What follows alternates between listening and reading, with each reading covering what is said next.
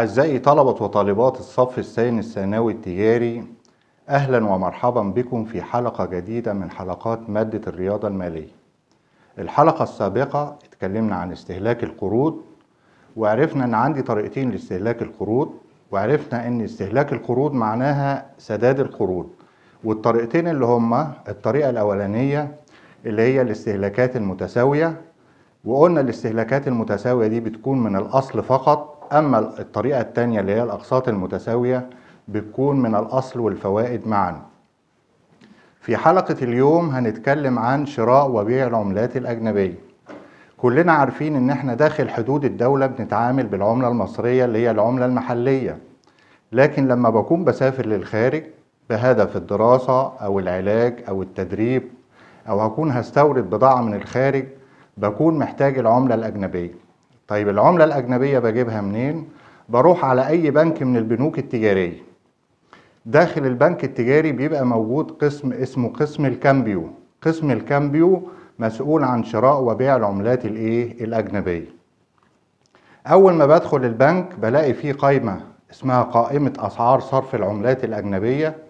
القائمه دي بتكون بالشكل ده. قائمة أسعار صرف العملات الأجنبية القائمه عبارة عن ثلاث أعمدة رئيسية. العمود الأول اللي هو خانة العملة دولار أمريكي يورو فرنك سويسري ريال أو أو إلى آخره. الخانة الثانية اسمها بنك نوت. الخانة الثالثة اللي هي التحويلات. خانة البنك نوت فيها خانة للشراء وخانة للبيع.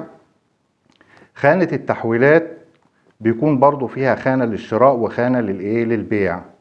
أهم حاجة نكون عارفين إمتى نتعامل مع خانة البنك نوت وإمتى نتعامل مع مع خانة التحويلات.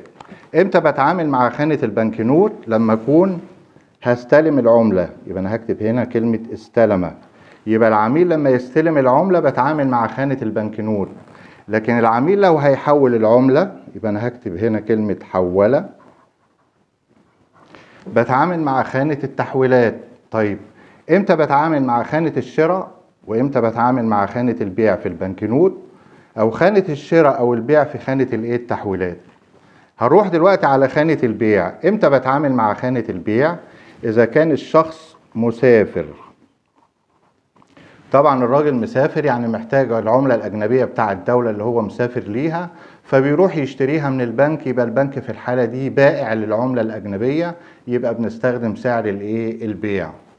يبقى ما يكون الشخص مسافر. ولو الشخص بيشتري عملة يبقى أنا هكتب هنا اشترى. لو الشخص بيشتري عملة من البنك يبقى إحنا بنستخدم سعر الإيه؟ البيع. هنا برضو نفس الموضوع. هكتب كلمة مسافر.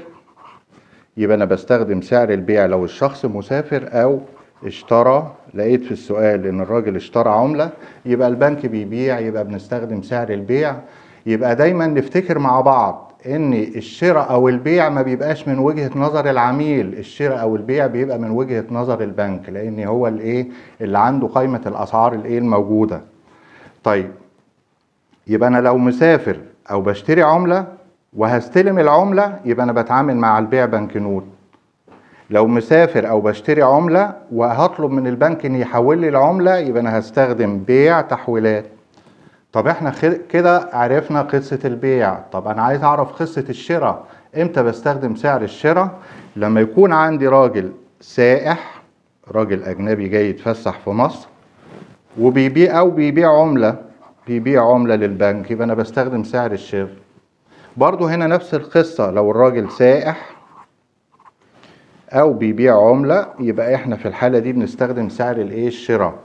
يبقى لو الراجل سائح أو بيبيع عملة وهيستلم العملة بتعامل مع الشراء بنك نوت لو الراجل سائح أو بيبيع عملة وهيطلب من البنك يحولها له يبقى أنا بتعامل مع الشراء إيه؟ تحويلات. هنقول تاني بسرعة كده إمتى بتعامل مع البنك نوت بتعامل لو أنا هست... بتعامل مع البنك نوت لو أنا هستلم العملة إمتى بتعامل مع التحويلات؟ بتعامل مع التحويلات لو أنا هطلب من البنك يحول لي عملة. إمتى بتعامل مع سعر البيع لو أنا مسافر أو بشتري عملة من البنك؟ إمتى بتعامل مع سعر الشراء لو أنا سائح أو ببيع عملة للبنك؟ ممكن حاجة تانية مش لازم يكون سائح ممكن يكون شخص مصري شغال في الخليج أو في أي دولة وعائد من الخارج معاه عملة أجنبية بيبيعها للبنك يبقى البنك بيشتري يبقى في الحالة دي بنستخدم سعر الإيه؟ الشراء. يبقى إحنا عرفنا شكل قائمة أسعار صرف العملات الأجنبية بتكون إزاي وإزاي بتعامل مع الشراء أو البيع سواء كان بنكنوت أو تحويلات. في قاعدة مهمة جدا جدا هنحتاجها النهارده. إيه اللي بيطلب مني في المسائل؟ يا إما بيطلب مني يقول لي احسب العملة المحلية العملة المحلية اللي هي الجنيه المصري. إزاي بحسب العملة المحلية؟ بضرب العملة الأجنبية سواء دولار أو فرنك أو يورو أيا كانت العملة في السعر. السعر ده اللي هو سعر الصرف اللي هو ممكن يكون سعر شراء أو سعر بيع سواء كان بنكنوت أو تحويلات. يبقى هنحفظ مع بعض القاعدة دي العملة المحلية بتساوي الأجنبية في السعر. طب لو عايز نحسب العملة الأجنبية هطلع العملة الأجنبية بره وهقول العملة الأجنبية. طالما العملة الأجنبية كانت بعد علامة التساوي وطلعتها خليتها قبل علامة التساوي علامة الضرب بحولها القسمة يعني هقسم العملة المحلية على السعر. طب لو جه في سؤال وطلب مني قال لي احسب السعر. السعر برضو بعد علامة التساوي. هحطه قبلها علامة التساوي يبقى أقول السعر بيساوي هقسم العملة المحلية على العملة الأجنبية. لازم نحفظ مع بعض الكام قانون دول بسرعة كده. المحلية بتساوي الأجنبية في السعر لو عايز أحسب الأجنبية هقسم المحلية على السعر لو عايز أحسب السعر هقسم العملة المحلية على العملة الأجنبية. خلينا نروح نشوف مثال كده ونشوف المثال بيبقى شكله عامل إيه وإيه اللي بيطلب وإزاي بنحسب المطلوب. معانا السؤال الأول السؤال الأول بيقول لي إيه؟ بمناسبة السفر للخارج يبقى هنا الشخص اللي معانا هيسافر. اشترى شخص ألف دولار أمريكي يبقى الراجل اشترى ألف دولار أمريكي. من أحد البنوك أوجد ما دفعه هذا الشخص بالعملة المصرية مع العلم بأنه استلم العملة وجايب لي تحت سعر الدولار الأمريكي بنكنوت وتحويلات هنا شراء وبيع وهنا شراء وبيع. قرينا المسألة هنلخص المسألة بتاعتنا. أنا عندي الراجل اشترى كام؟ ألف دولار أمريكي. يبقى أنا هنا هلخصها بقول طبعا ده دولار أمريكي يعني دي اسمها العملة الأجنبية. كام يا شباب؟ ألف دولار. اوجد ما دفعه هذا الشخص بالعملة المصرية يعني اللي مطلوب مني مطلوب مني العملة المحلية. هي اللي مطلوبة. طب أنا عندي أربع أسعار تحت يا ترى هتعامل مع أي سعر فيهم؟ إحنا قلنا الراجل مسافر ولسه من شوية قلنا لما الراجل يجي يسافر قلنا بنستخدم سعر البيع لأن هنا البنك بيبيع عملة أجنبية. طب هاخد سعر البيع في البنكنوت ولا في التحويلات؟ هو هنا بيقول لي مع العلم بأنه استلم العملة واتفقنا مع بعض طالما استلم العملة يبقى إحنا بنتعامل مع البنكنوت. يبقى السعر اللي إحنا هناخده دلوقتي هو سعر البيع بنكنوت. يبقى السعر اللي معايا السعر سعر البيع بنكنوت عندي 15 علامة 72 15 علامة 72 طبعا أنا لما أبص على التلخيص بتاعي هلاقي المطلوب عندي العملة المحلية. هكتب قانون العملة المحلية هقول العملة المحلية اللي هو في المطلوب ما دفعه الشخص. العملة المحلية بتساوي العملة الأجنبية في السعر. العملة المحلية بتساوي. العملة الأجنبية عندي كام فوق يا شباب. برافو عليك. أنا سامع ابن من أبنائنا بيقول لي ألف دولار. يبقى ألف. هضربها في السعر اللي إحنا قلنا عليه. سعر البيع بنكنوت اللي هو خمستاشر علامة اتنين وسبعين. لما أضرب ألف في خمستاشر علامة اتنين وسبعين هلاقي الناتج عندي هيديني خمستاشر ألف سبعمية وعشرين يا ترى ده دولار ولا جنيه؟ لا ده جنيه مصري. يبقى الراجل دفع للبنك 15720 جنيه عشان ياخد منه كام؟ عشان ياخد 1000 دولار أمريكي. عايز أقول إن أهو خد بالك.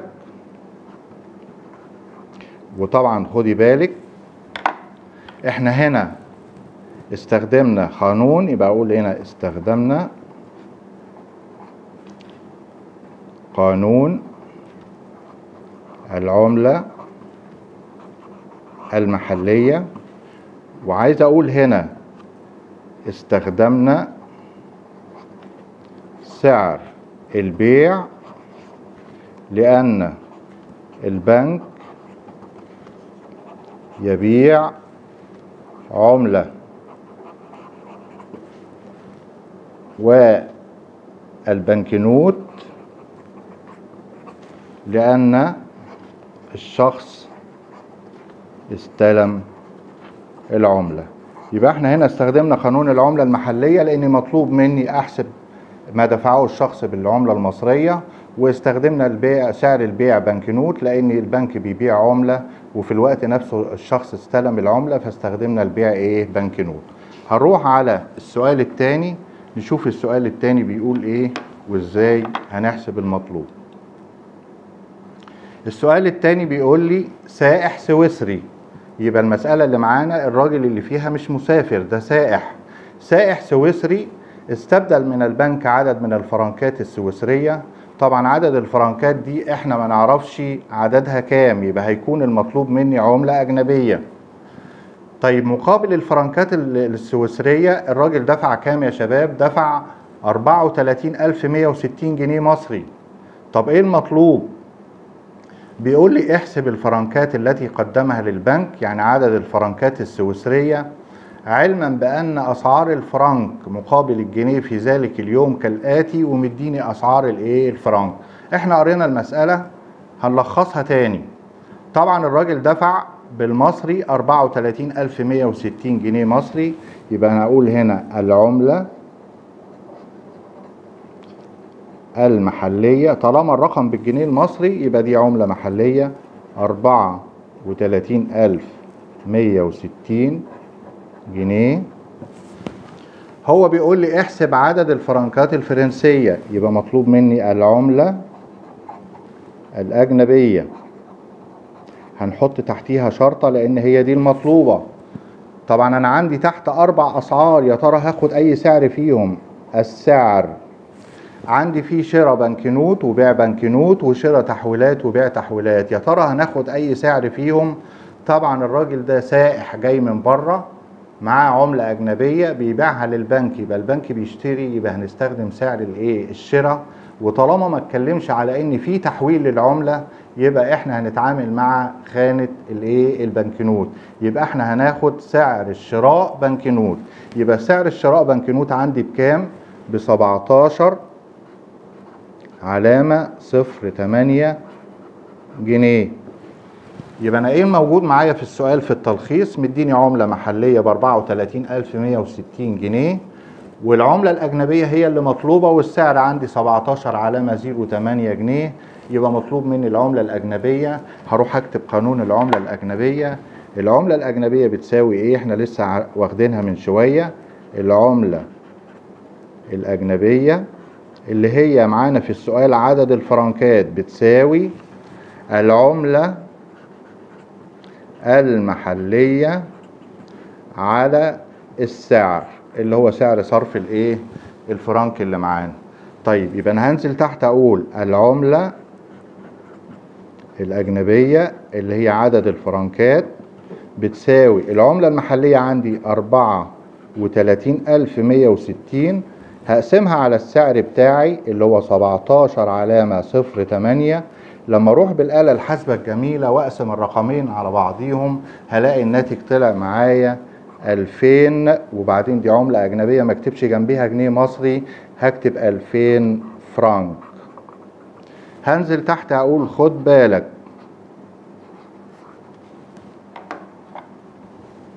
تم استخدام سعر الشراء لأن البنك يشتري عملة. تم استخدام أسعار البنك نوت لأن الشخص استلم العملة أبنائي وبناتي الطلبة إيه الفرق بين المسألة دي والمسألة اللي قبليها؟ في المسألة اللي قبليها كان مطلوب مني عملة محلية فعشان كده رحت ضربت العملة الأجنبية بسعر صرف العملة هنا كان مطلوب مني عدد الفرنكات السويسرية فعشان كده قلت العملة الأجنبية بتساوي العملة المحلية على السعر. استخدمنا سعر الشراء لأن راجل سائح جاي لمصر معاه عملة أجنبية باعها للبنك. يبقى البنك اشترى عملة عشان كده استخدمنا سعر الشراء. ليه استخدمنا أسعار البنكنوت؟ لأن الراجل استلم العملة ما طلبش من البنك إن هو يحولها له. خلينا نروح على السؤال الثالث نشوف السؤال الثالث بيقول إيه وإيه المطلوب وإزاي هنحسب المطلوب. السؤال الثالث بيقول لي بمناسبة السفر للعلاج في بريطانيا يبقى برضو الراجل اللي معانا هنا مش سائح جاي لمصر لا ده راجل مسافر. استبدل مواطن مصري 21800 جنيه مصري. استبدلهم بإيه؟ استبدلهم ب 1000 جنيه استرليني. يبقى أنا عندي في عملة محلية وفي عملة أجنبية. طب إيه المطلوب مني في السؤال؟ مطلوب مني بيقول لي احسب سعر الصرف سعر صرف الجنيه الاسترليني في ذلك اليوم. يبقى هنا مطلوب مني سعر الإيه؟ الصرف. هروح ألخص المسألة بتاعتي. أنا عندي ال 21800 دول إيه؟ قال لي جنيه مصري. يبقى أنا هقول العملة المحلية واحد وعشرين ألف وتمنمية جنيه مصري. طيب استبدلهم بإيه؟ بألف جنيه استرليني. يبقى هقول العملة الأجنبية.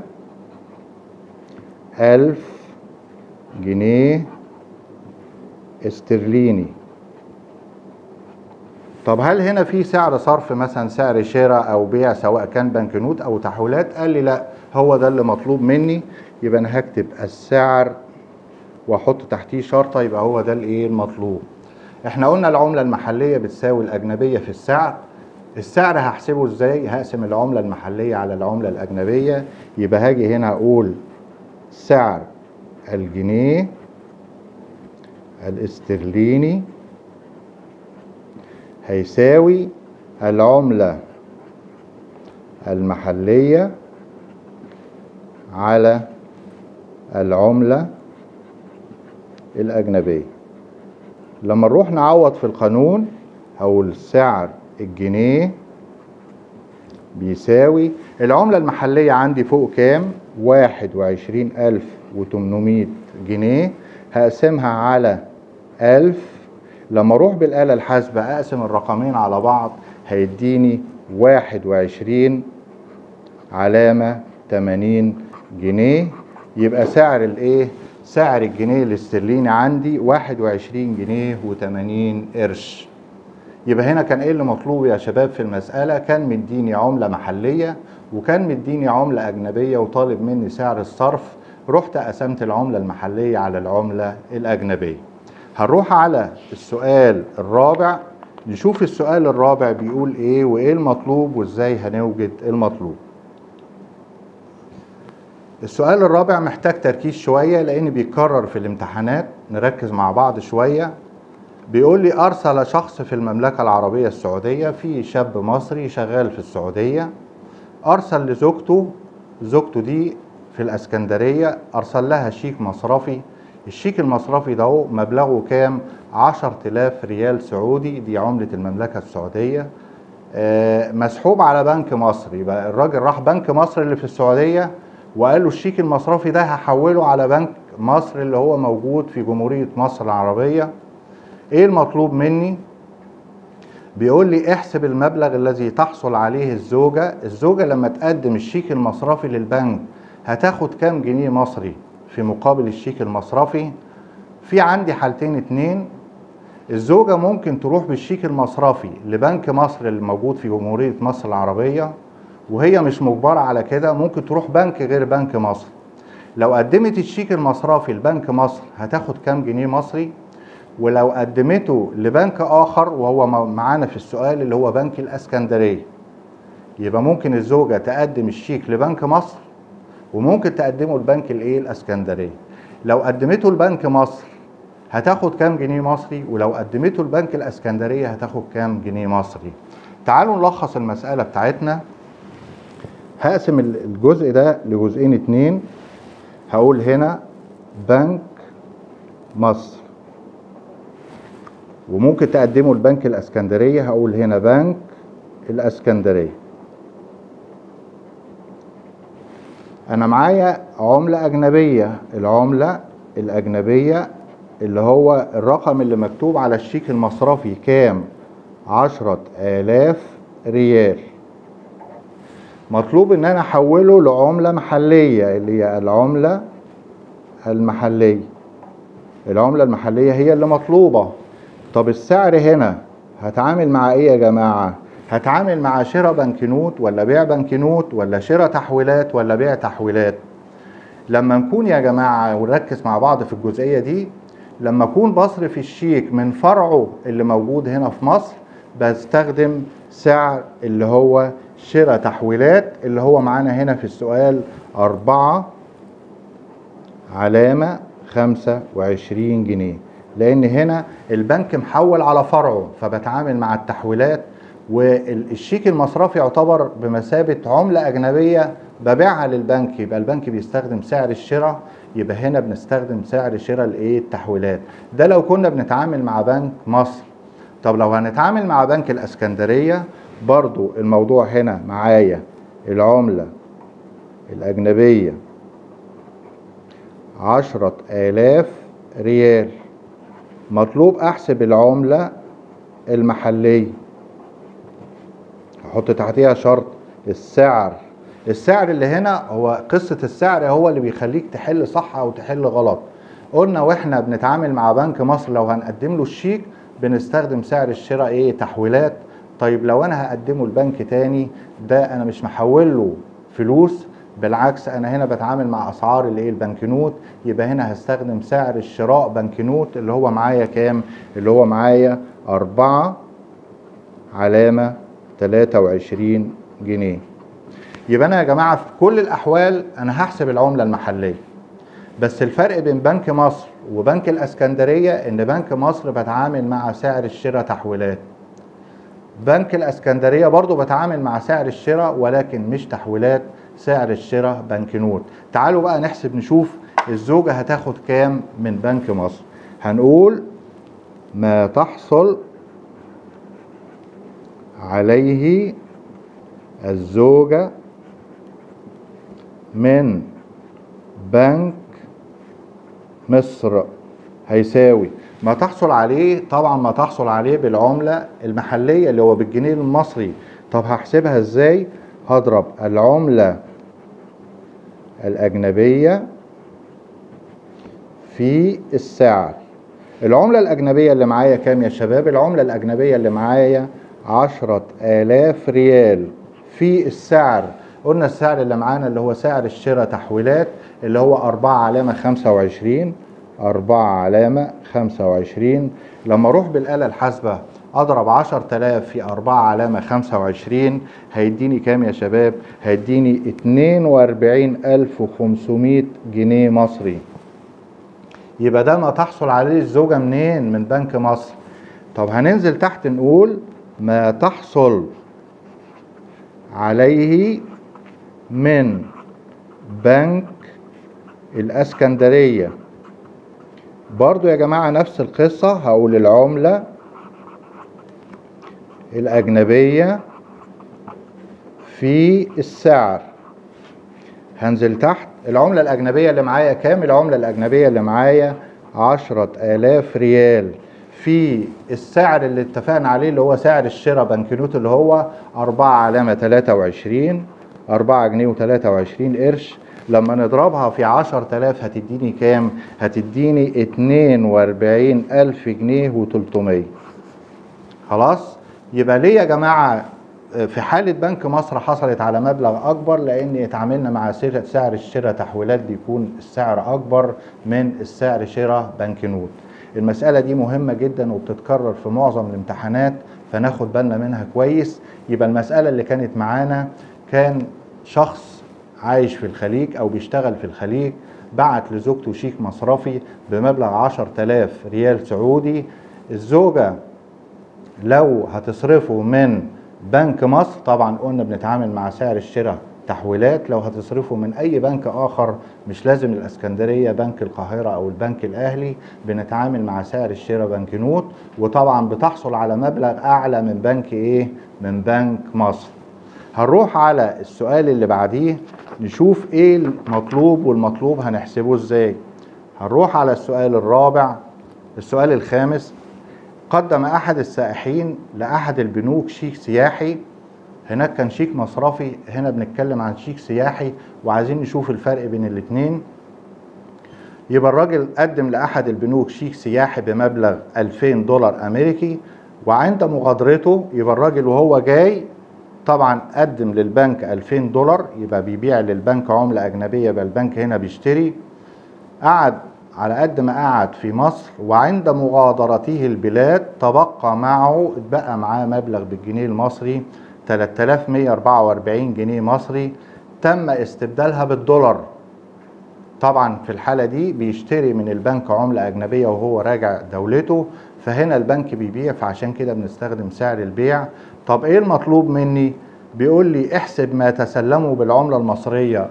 لما جه عند حضوره واحسب عدد الدولارات التي تسلمها عند المغادرة وهو مسافر خد كام دولار. هنلخص المسألة بتاعتنا. هنقسم الجزء ده لجزئين اتنين. الجزء الأولاني بيتكلم عن الحضور وهو جاي. إيه اللي حصل؟ وهو جاي كان معاه عملة أجنبية يبقى العملة الأجنبية كام؟ ألفين دولار. خلاص؟ وعند مغادرته البلاد تبقى معه 3144 جنيه. يبقى دي عملة محلية. يبقى العملة المحلية. هنا المغادرة. العملة المحلية كام؟ 3144 جنيه. هو طبعا بيقول لي احسب ما تسلمه بالعملة المصرية يبقى هنا العملة المحلية هي اللي مطلوبة وهنا العملة الأجنبية هي اللي مطلوبة. طيب أنا هنا هتعامل مع سعر كام؟ هنا السعر. طبعا في الجزء الأولاني الراجل سائح جاي من بلده وقلنا في حالة ما بيكون سائح بستخدم سعر الشراء. يبقى أنا هستخدم هنا سعر الشراء اللي هو كام؟ سعر الشراء بنكنوت 15 علامة 60 وهو مسافر هنستخدم سعر البيع بنكنوت يبقى السعر في الحالة دي 15 علامة 72 المطلوب الأول بيقول لي احسب ما تسلمه بالعملة المصرية عند حضوره. هقول هنا ما تسلمه بالعملة المحلية. طبعا هنقول العملة الأجنبية في السعر. العملة الأجنبية عندي كام؟ 2000 دولار.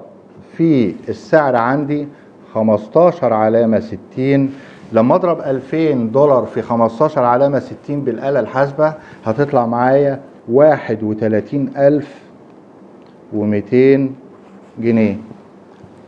طبعا ليه كتبنا جنيه؟ لأن ما تسلموا بالعملة المصرية يبقى لازم الناتج يكون بالجنيه.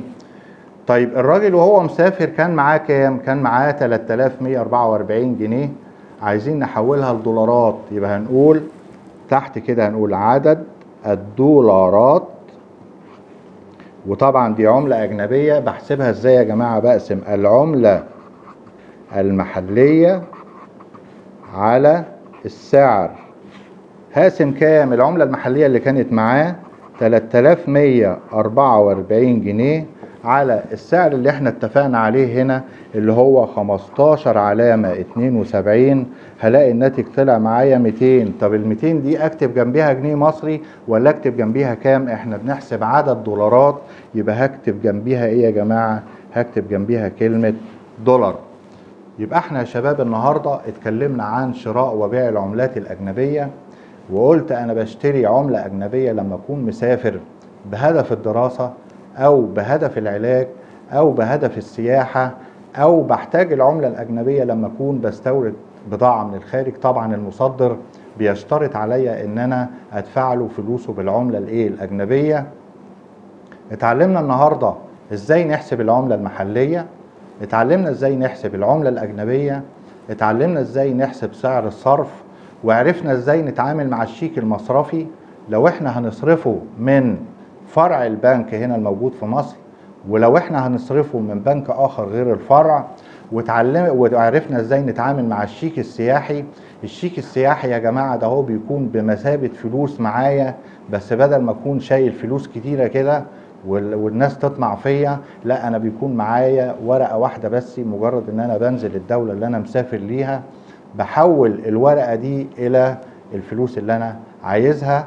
وبكده نكون وصلنا لنهاية حلقة اليوم. أشكركم على حسن المتابعة وإن شاء الله أشوفكم على خير العام القادم إن شاء الله وليس الحلقة القادمة. وكل عام وأنتم بخير.